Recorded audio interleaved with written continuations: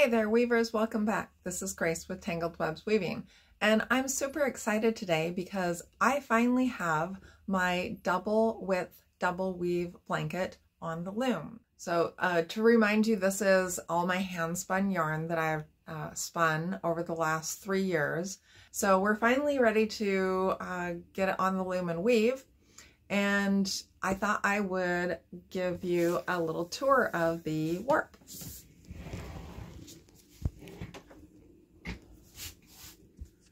So here you can see that the warp takes up almost the entirety of my 53 inch weaving width uh, loom.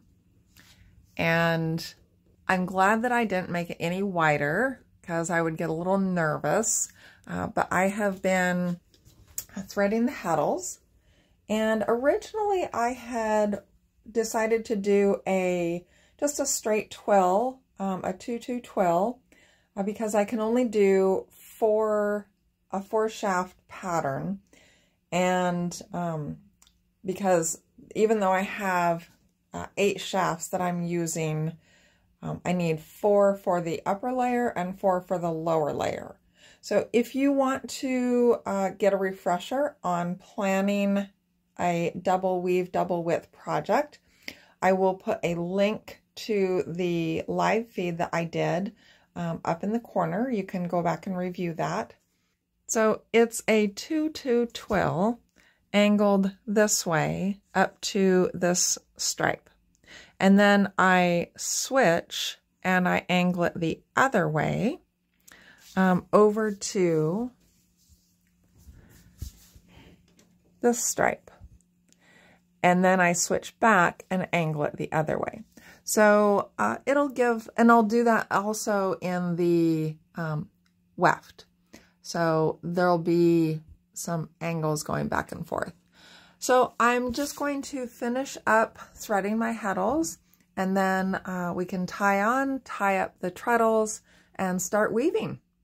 So because we're threading the um, top layer on shafts one through four and the bottom layer on shafts five through eight, we have to alternate the upper and lower uh, cloth so that we don't have, um, so that we get the right set.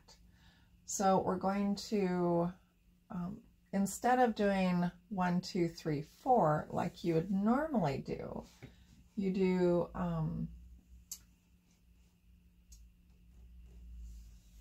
So I'm going to do one, seven, two, six,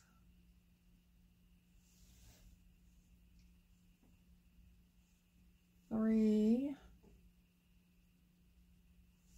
oops, the right thread, five, and then four, eight.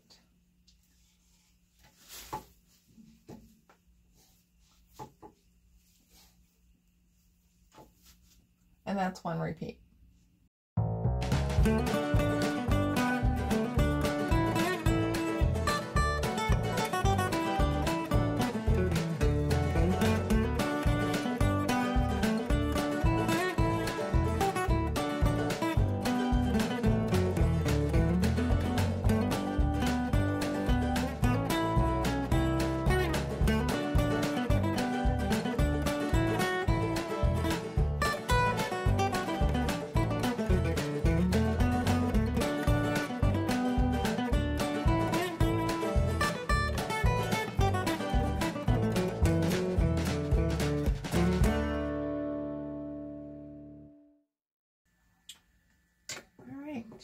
There we have it.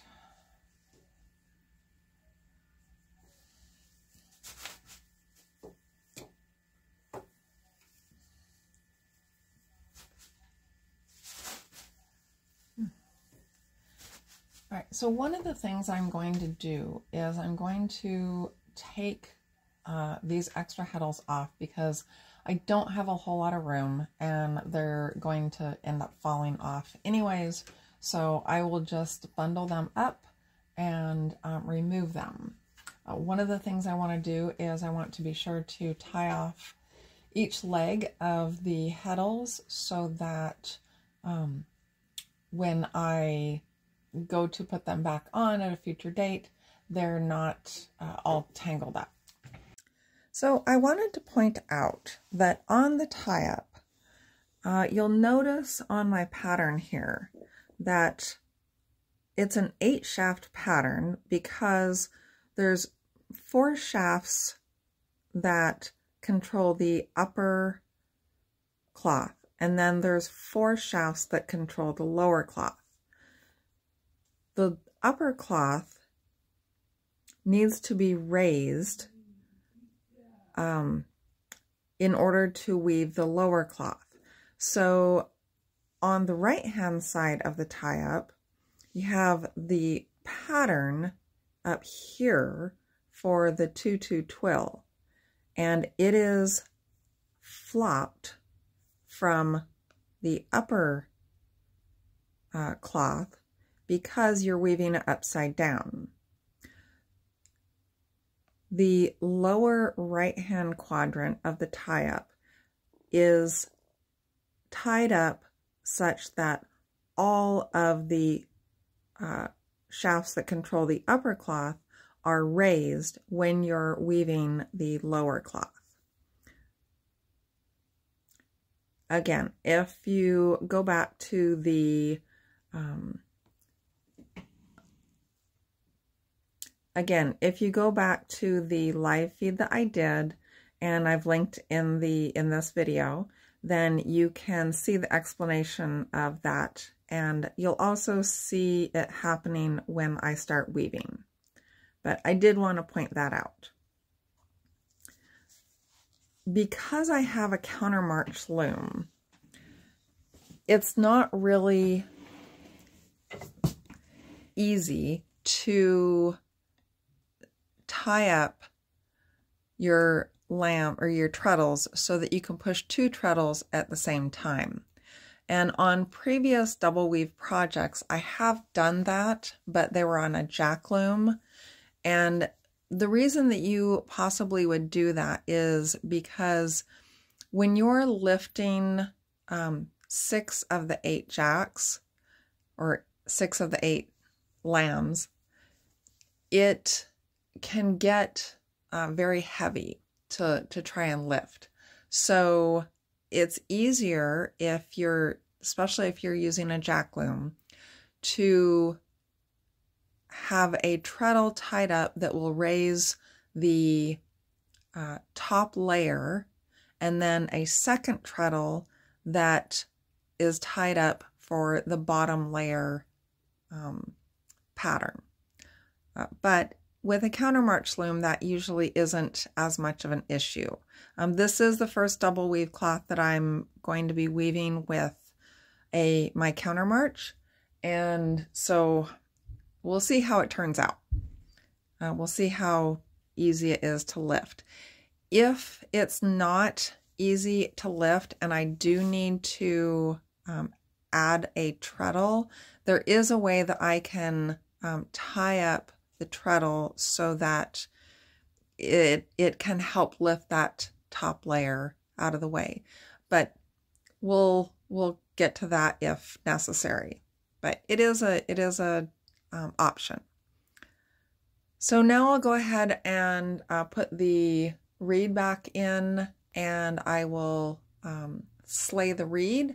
And we're going to sley this at two ends per dent because in a 10 dent reed, and the reason that we do that is the set is 10 ends per inch, but we're weaving two layers. So it ends up being um, 10, dent, 10 dents per inch for the top layer and 10 dents per inch for the bottom layer.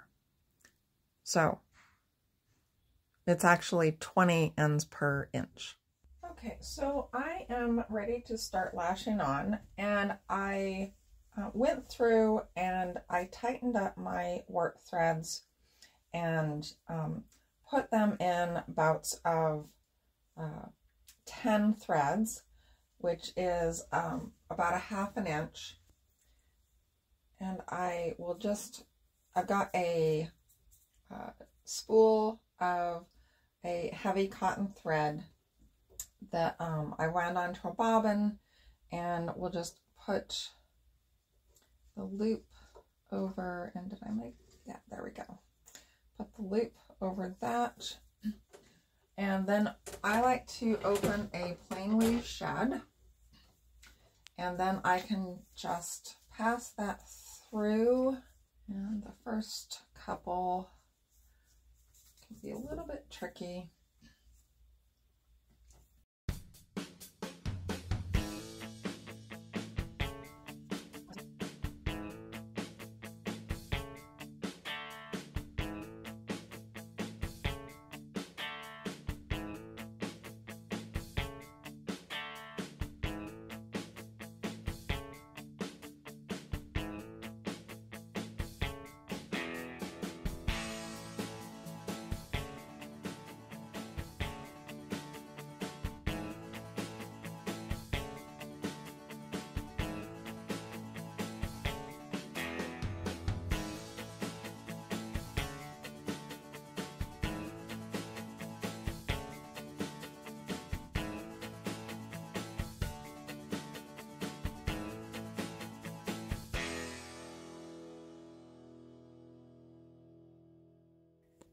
All right, so here we have the warp is all uh, lashed on and tensioned.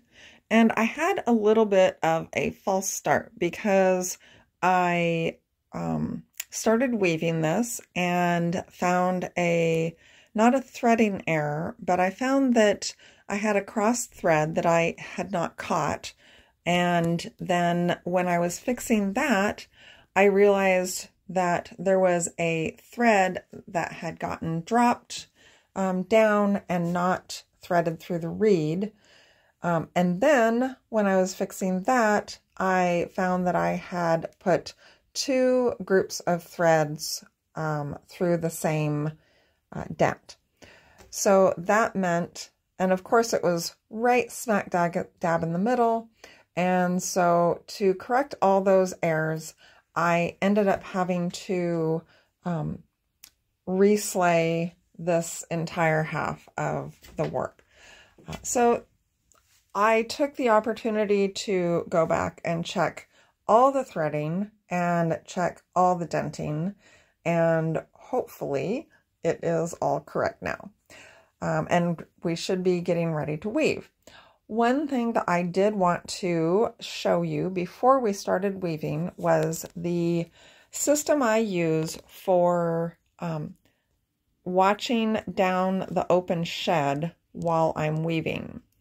Now, because this is double weave and um, it's a very dense uh, weave, so basically this is 20 ends per inch, um, 10 ends per inch for each layer. But um, when you're weaving the bottom layer, you have to raise the top layer and then weave, through the shuttle and weave the bottom layer. The problem is, is you can't see the bottom layer. If I raise the top, if I'm weaving the top layer, you can see where um, your shuttle is going and if there are any threads that are maybe catching down below um, and not opened up, then uh, you can see that. With when you weave the bottom layer, um, if you, you're raising all four threads on the top layer plus two threads from the bottom layer. And you, you can't see, I mean, I have to open it up to see what's going on in there. So you have to kind of be able to look down the um, open shed from the side And so what I do is I use a endoscope that I stole from my husband. And this is a little camera that projects to my laptop. And um, let's go back down here. And I've got it mounted in a little block here at the end of my reed. Um, so this light right here is where the camera is and it's mounted to my reed and it can look down the reed at where my shed will open. Um, so when I open my shed, I can look at my laptop and it normally will sit to the side um, of my weaving, uh, not on top of my loom where it's gonna, but you can see that when I open my shed, um, you can see where I have some threads that are hanging up. So right here, you can see those threads hanging up. Um, but if I, then I can clear those threads and I can see um, all the way down the, uh, the open shed and see that I can go ahead and throw my shuttle and not pick up any um, threads that shouldn't be. I'm going over all the threads that I should and not picking up any that are hanging down from the top. Um, so I just wanted to show you that. Uh, and again, it's pretty critical to have this type of a, um, a system when you're weaving double weave. Um, and even if you're weaving regular cloth, uh, sometimes I've used this um, because I can't readily see if my shed is clear. And especially with the wool yarn, it's very sticky and uh, will stick together. So we'll go ahead and put this off to the side and then um, I'll mount you at that other end and you can see the process of weaving.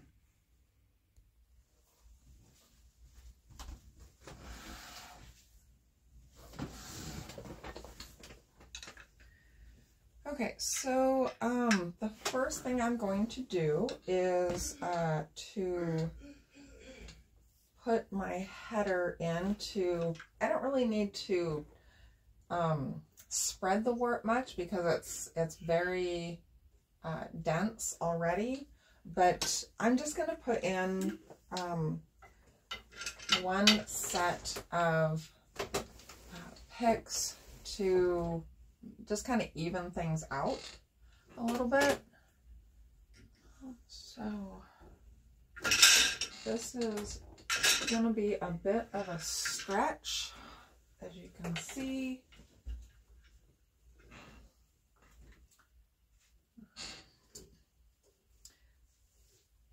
Since I am using uh, 50 inches of the 50, I think this is a 53 inch weaving width, 54 inches.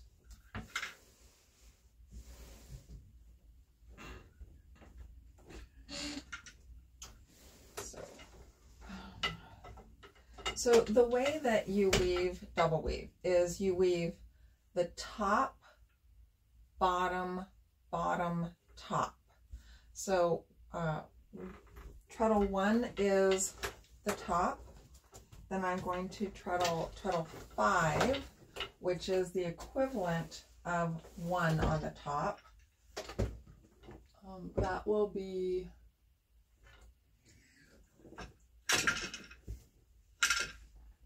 treadle five.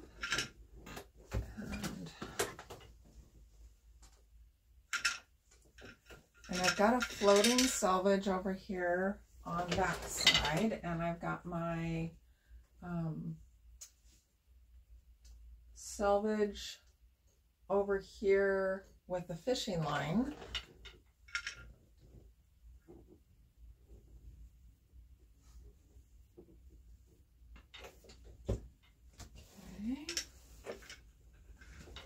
And then the coming back on the bottom.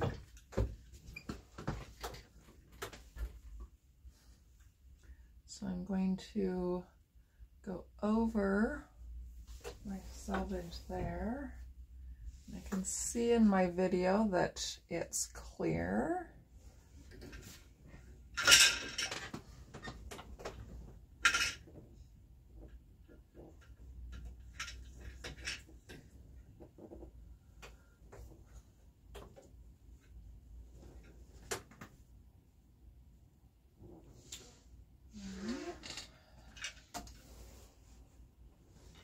and then two on the top.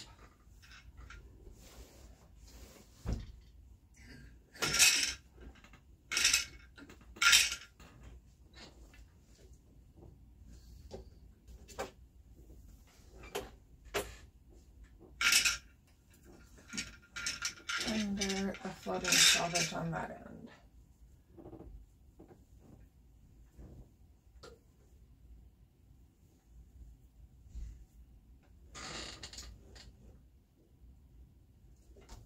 So that is two picks.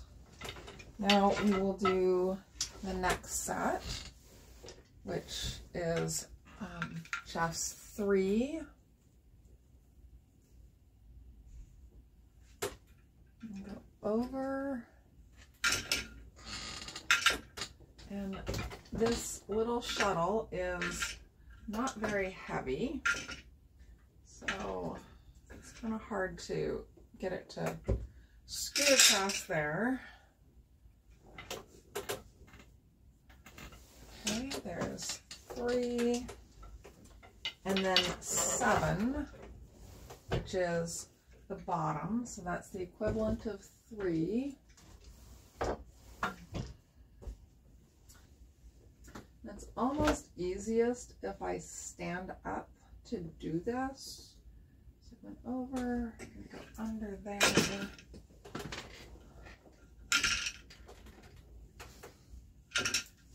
Under there.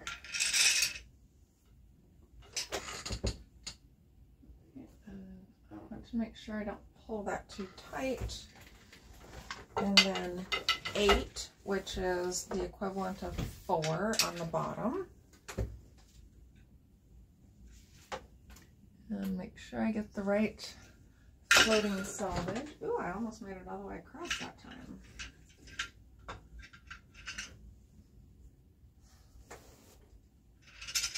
And then four on the top.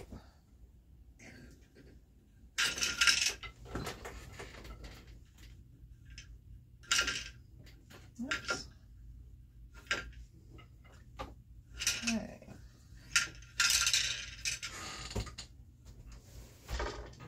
And that is perfect for um, header row.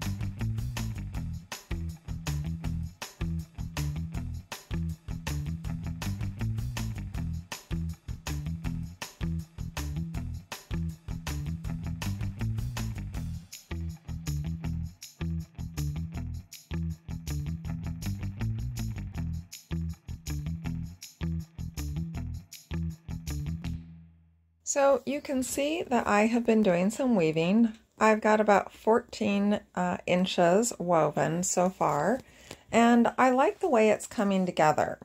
You can see the change in the uh, twill direction uh, on either side of this stripe, and then this stripe has a change also.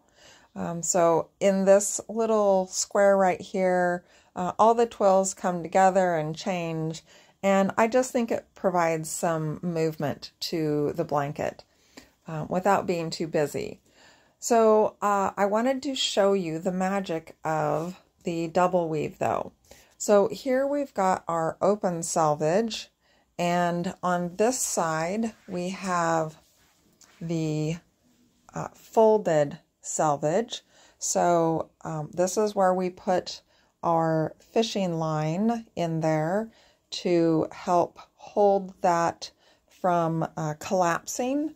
And normal cloth will collapse uh, along the selvage and be more dense there typically.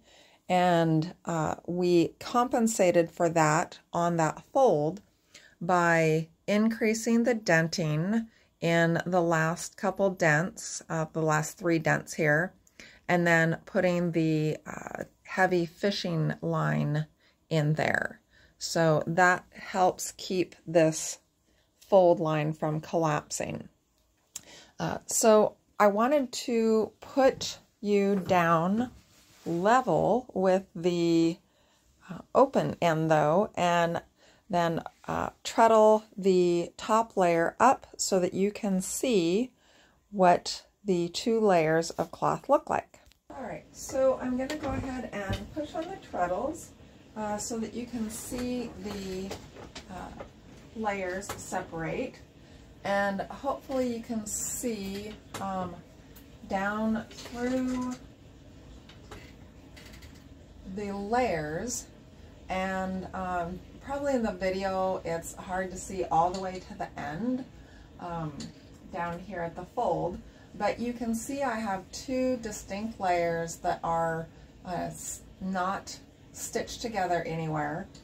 And um, yeah so that's the whole blanket. So I think I'm going to go ahead and finish weaving this off camera. And once I get ready to finish it up and cut it off the loom, I'll post a uh, new video with that process and you can see the magic of taking a double weave project off the loom and opening it up. Thanks for watching this video. If you enjoyed watching it, please give it a thumbs up and consider subscribing to my channel. If you have questions or comments, please do leave them down in the comment section below. Thanks and happy weaving!